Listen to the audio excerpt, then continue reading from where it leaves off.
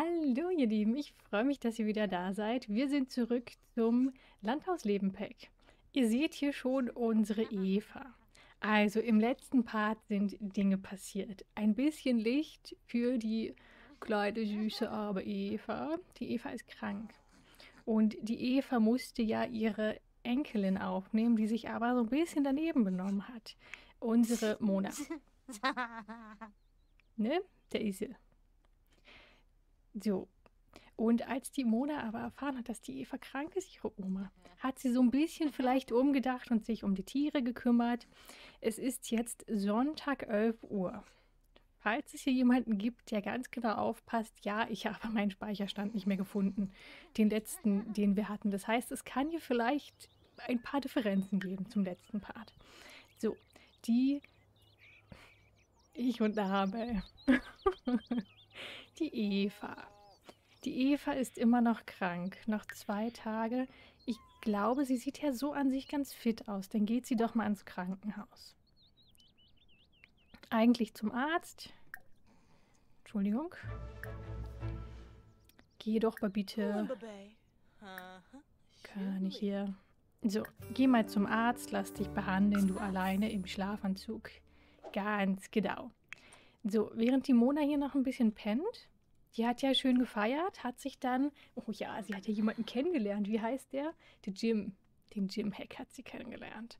Und die hatten so ein bisschen Beef, ne, weil er das völlig kacke findet, was sie da mit ihrer Omi macht. Oh, und die Trudi. Ist sie zurück? Nee. Da ruft jemand an. Wer, wer ist denn. Jetzt habe ich den, sehe ich den Namen nicht mehr. Maike? Hey Eva, wir fänden es toll, wenn du unserer Gruppe Avantgardisten beitreten würdest. Was sagst du dazu? Du, ich bin gerade krank. Ich möchte gerade nicht. Sorry. Vielleicht später. Oh, da kriegen wir ein Geschenk. Wie schön. Genau, die beiden hatten ein bisschen Beef, aber ich glaube eigentlich findet sie den doch ein bisschen toll, denn sie hat ja wirklich, sie kam ja zurück von ihrer Party und hat sich dann auch wirklich um die Tiere gekümmert, hat ihrer Oma geholfen. Und die Omi war das ganz schön. Müssen wir jetzt schon wieder hier ran? Ich glaube schon, ne? Ich glaube, dann steht sie mal auf. Ne, die Eva hat ja hier unten bestimmt so ein Zettelchen hingelegt. Du. Hier sind ein paar vergabelte Toasts. Ich bin beim Arzt und lass mir ein bisschen Medizin geben. Dann geht sie erstmal auf Klöchen. Und was macht sie dann? Oh, im Kühlschrank ist anscheinend noch was. Sehr schön.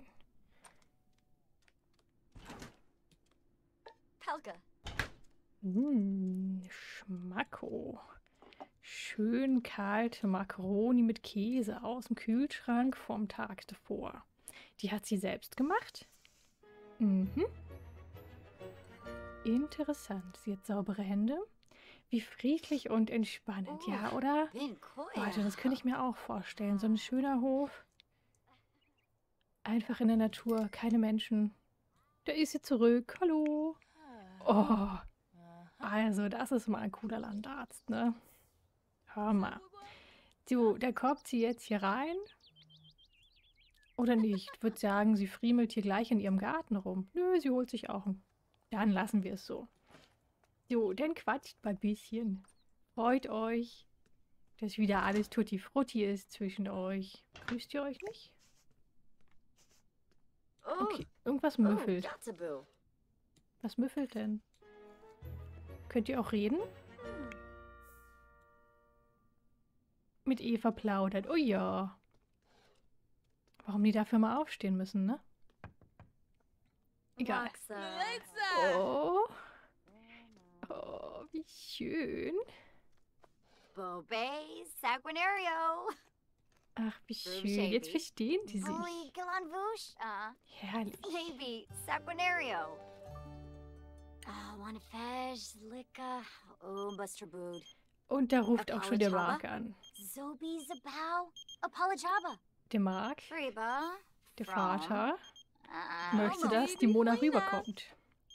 Ich glaube, sie wird nicht rangehen. Sie ist, glaube ich, immer noch ziemlich stinkig. Genau.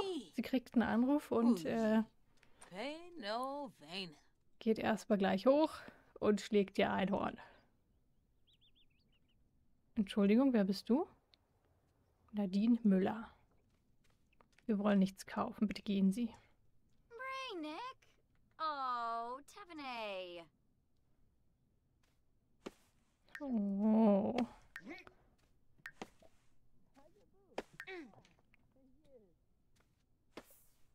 Ach, die Arme, ne? So viele angestaute Emotionen. Oh, oh, oh. So, die Eva geht sich mal schnell die Zähne putzen. Und auf Klöchen. Dann sieht sie doch ganz fit aus. Und die Mona?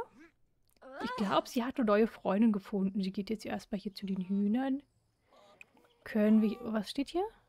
Leicht schmutzig. Dann doch mal bitte den Stall säubern. Und Futter verstreuen. Und danach geht's zu Trudi. Füttern und melken und putzen und den... Ach, der Stall ist sauber. So, dann kann sich nämlich die Eva... Oh, die fühlt sich ja richtig cool mit ihren blitzeblanken, sauberen Zähnen. Ach stimmt, wir haben ja noch einen Karl. Wir haben ja noch einen Karl. Hallo Karl. Guten Tag. Hallo, hier bin ich. Süß. Ach man, so einen Arzt hätte ich ja auch gerne, ne? Einmal für zwei Stunden hin, alles Mögliche in mich reinpumpen lassen und dann kann ich hier diese Benachrichtigung ausstellen. Ihr sollt doch nicht sehen, wovon ich immer ein Foto mache. So, ich möchte jetzt hier, hier war ein Geschenk. Ich möchte jetzt gern ein Geschenk abholen. Ähm. Ja, Quatsch, bald damit. Ach so, wir müssen ja noch. Oh. Oh, oh, oh. Fünf Objekte finden. Gehen wir da heute mal hin, ja. Ah. Da war gerade ein Cupcake. Oh. Mm, Hm. kriegen wir jetzt ein Geschenk? Oh. Oh. Was ist das? Eine Erdbeere? Uh.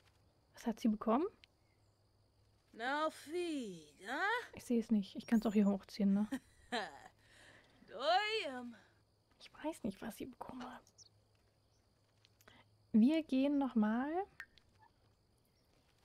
Äh. Oh, ein kleines Vögelchen hat mir gezwitschert, dass Eva soeben das Vogelkreuzschnittmuster freigeschaltet hat. Uiuiui. Aber Wahnsinn. Liest sie ein Buch über Schwangere? Liebe in den Zeiten der Stulle. Ja. Wir suchen. Ach Gott, wo war das denn jetzt? Ich glaube, hier haben wir gestartet, ne?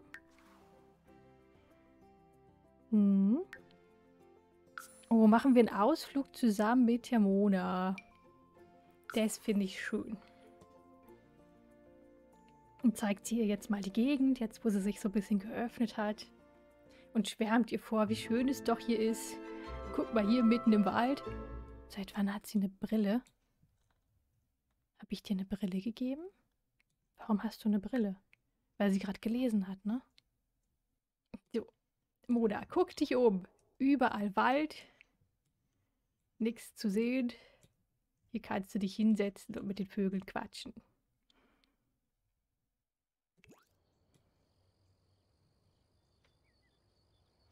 Ich würde hier sofort hin, ne? Hier gab es auch so einen schönen kleinen Bach. Oh, es ist einfach so schön. Ich möchte hier hin. Finde es traumhaft. So, und jetzt war hier irgendwo eine Schokobeere, die sie finden konnte. Kannst du schon mal hierher laufen? Irgendwo hier drin war was. Da. Aber es glitzert doch. Ich werde die Aufgabe niemals erfüllen, ne? Suche Sammelobjekte im Wald und nimm sie mit. Hier ist auch eine Pflanze, die wir nicht ernten können. Ein paar Pilze können wir auch nicht mitnehmen. Oh, wer ist hier drüben? Gibt es hier noch was? Nee, ich glaube, das war da hinten die einzige Stelle, die wir gefunden hatten. Na gut. Wenn wir da nichts finden können, was macht die Mona? Die fühlt sich nicht gut, weil... oh, jetzt räumt sie hier erstmal auf. Herrlich. Sie hasst das hier, weil hier so viel Müll. So, jetzt hat sie einmal den Wald aufgeräumt und jetzt ist wieder alles supi-dupi. Wahnsinn. Im Wasser spielen. Süß.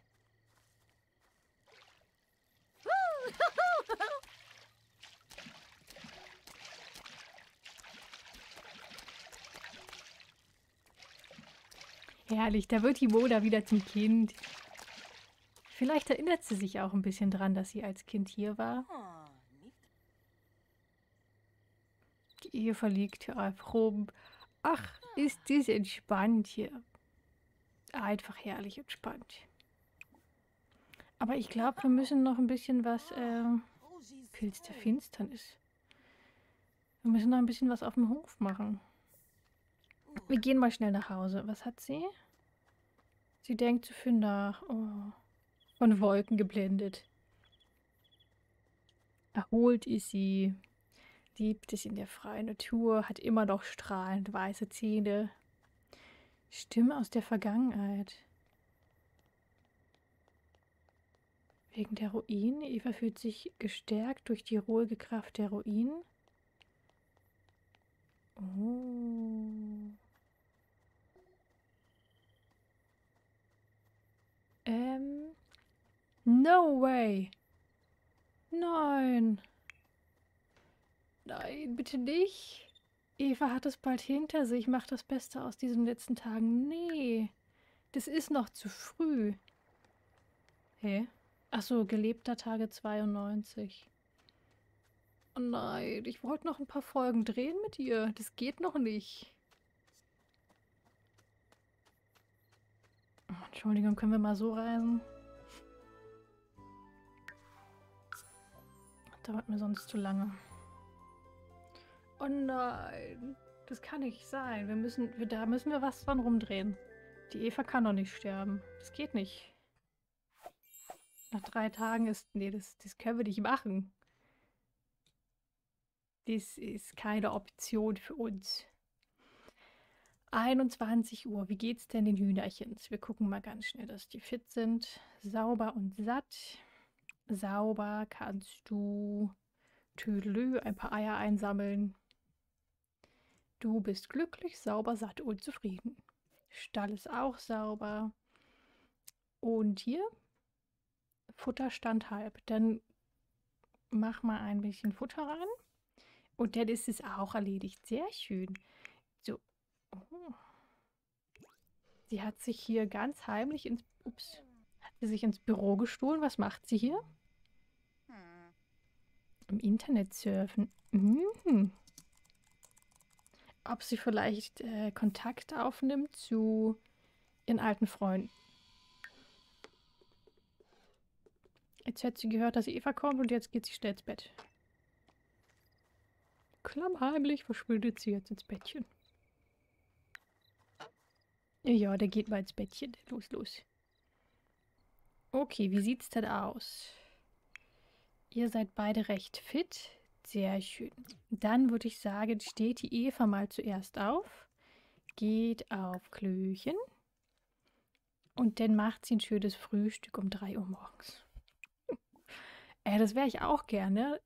Ich gehe um 22 Uhr ins Bett und wäre um 3 Uhr nachts ausgeschlafen. Ich hätte gern Frühstück. Frühstück? Eier und Toast. Machen wir eine große Größe. Und wenn das Bad frei ist, da die die Mone auf.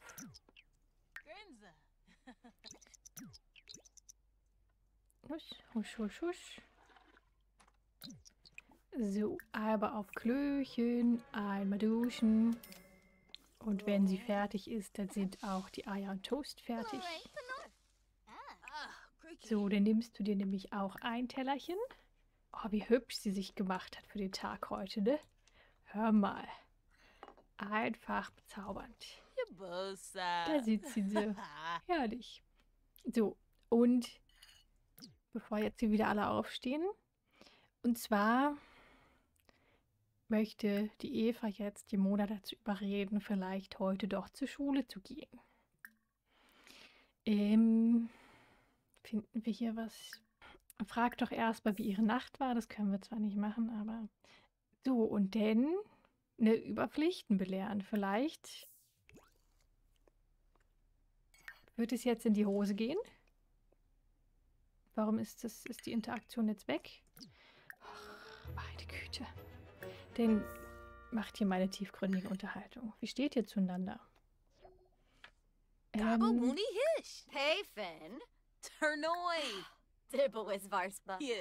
wir können ja mal über ihre Träume reden. Ähm, Paguna Slapo Bena. Zeph. finden wir das nochmal irgendwo Ah. Oh, mit den Oh. Pflichten? Ich glaube nicht. Linzo Bull.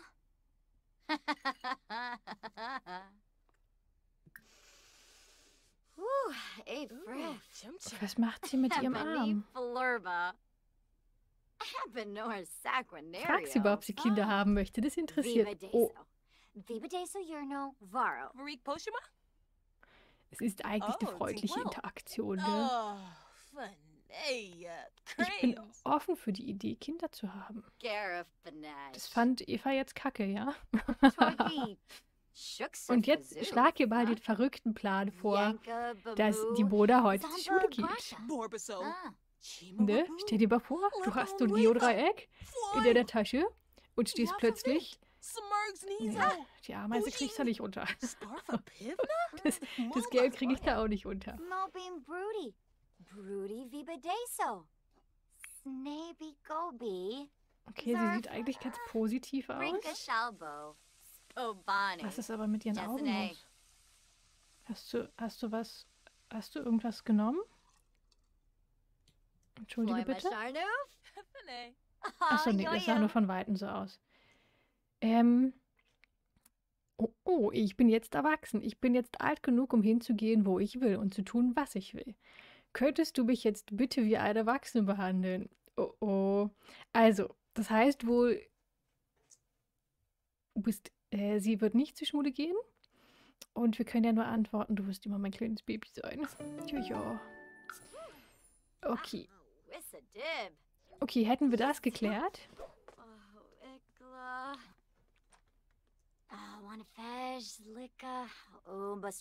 So, und wir haben ja gesehen, sie hat schon ein paar andere Pläne, ne? Sie hat gestern klammheimlich im Internet gegoogelt nach ihren alten Freunden. Ähm, vielleicht, vielleicht hat sie sich auch was gesucht, äh, wie sie wieder nach Hause kommen könnte, ne? Man weiß es nicht. Können wir mal alles verkaufen? Pass auf, wir gehen jetzt noch mal. Wir suchen doch mal nach den Schokobeeren. Vielleicht kriegen wir es ja irgendwann hin. Wir müssen ja auch irgendeine Mission hier in dem Spiel haben. Okay, da sind wir. Ähm. Wo war denn hier? Da. Gibt es heute ein paar Schokobeeren? Ja, wo war sie denn? Hallo? Hallo? Äh? Da. Ach, immer noch nicht. Was soll denn das? Ich möchte doch nur das Ding da erreichen. Eine Schokobeere haben wir erst bekommen, ne? Die Eva macht doch nicht mehr so lange. Also ich möchte gern ein bisschen cheaten bei der Eva, dass wir die noch ein paar Tage haben. Ich meine, sie ist ja gerade erst Oma geworden. Die Mona ist ja noch nicht mal erwachsen, die kann jetzt noch nicht von uns gehen. Das können wir nicht machen. Da muss ich ein bisschen, ein bisschen dran rumdrehen. Ich verstehe es nicht. Ich habe doch jetzt hier mittlerweile alles abgesucht. Aber einfach nichts. gar nichts. Los, wir gehen wieder nach Hause. Ach, schade. Ich dachte, ich finde... Oh, die Rechnung. No. Ähm, kannst du schnell hierher kommen? Hallo? Bitte hierher kommen. Und dann müssen wir... Ach, nur 2,6. Das geht ja. Da, die Mona ist hier schon wieder am Zocken. Wer kommt da? Entschuldigung. Entschuldigung, was machen Sie hier? Was wollen Sie von mir? Tina? Guten Tag. Kommen Sie doch rein. Hallo Nachbar. Höre ich da das Knistern und Brutzeln eines kaputten Geräts? Oh je, brauchst du Hilfe? Ich bin handwerklich ziemlich geschickt. Nein, bitte mach unser Radio nicht ganz. Das wollen wir nicht. Jetzt möchte ich mal sehen, wie das aussieht. Nach Muster sticken. Wir haben doch dieses Vogelmuster. Fangen wir fangen mal klein an. Ein Hund. Da bin ich jetzt gespannt, wie das aussieht. Jetzt gehen wir das erste Mal ins Wohnzimmer. Ich bin jetzt ungefähr fertig mit dem, was ich hier machen wollte. Macht es dir was aus, wenn ich noch etwas hier bleibe? Wie war dein Tag? Ja, ja. So schleichen die sich hier rein. Ah,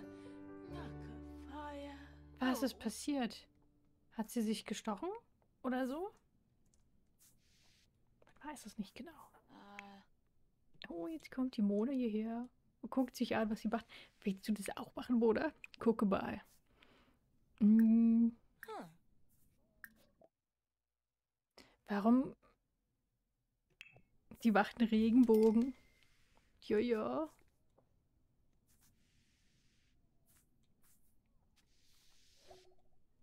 Ach, wie schön. Mm. Ah, ah. Mm. Hmm. Waggle. Joseph Quizak. Yibs. Mm-hmm. Joseph soy. Uh. My Dolby Nor. Oh, oh.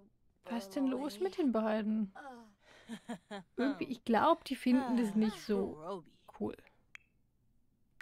Was hat sie schon wieder? Oh, sie muss auf. Oh Gott.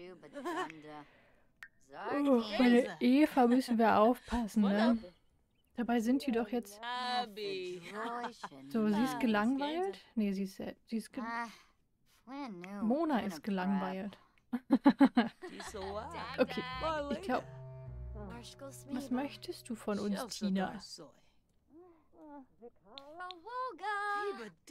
Ihr müsst alle mal aufküchen. Okay, pass mal auf. So. Dann hören wir jetzt auf zu sticken, wenn es eine längere Angelegenheit wird. So, ihr geht mal auf Klo. Die Eva geht auch schlafen. Die Mona hat ein Hüngerchen. Nimmt sie sich noch was aus dem Kühlschrank. Die Reste leben. Oh, wer ruft an? 15 Uhr, Schule ist schon aus.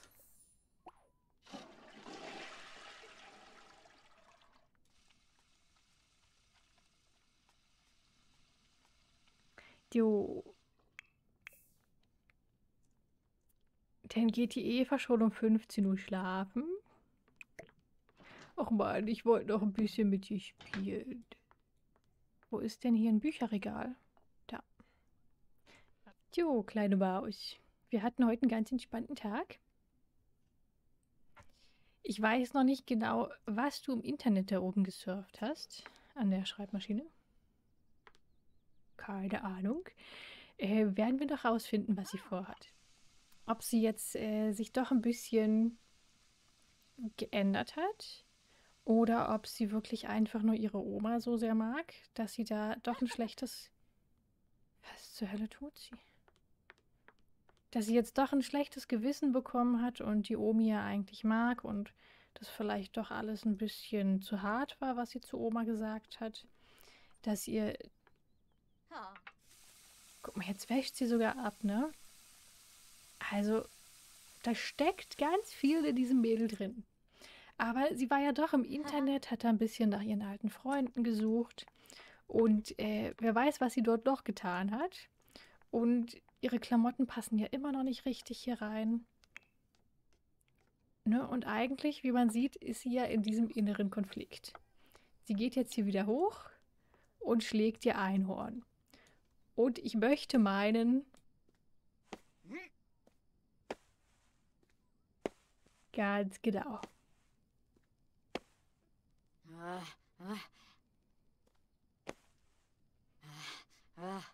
Ich möchte bei, dass sie jetzt auch heute Abend wieder, ich kann sich noch mal kurz hinlegen, damit es ihr besser geht, dass wir sie heute Abend wieder in die Bar schicken, beziehungsweise dass sie dort wieder hinflicht, flüchten wird, weil äh, von heute auf morgen in der Stadt findet das Schräger Humor und krasse Späße Festival statt. Okay, ich würde den Part an dieser Stelle hier beenden, mal gucken, was die Mona noch so mit uns treibt für Späße. Mal sehen, wo die Reise mit ihr hingeht. Und dann sehen wir uns beim nächsten Part. Ich wünsche euch noch einen ganz wundervollen Tag. Tschüssi.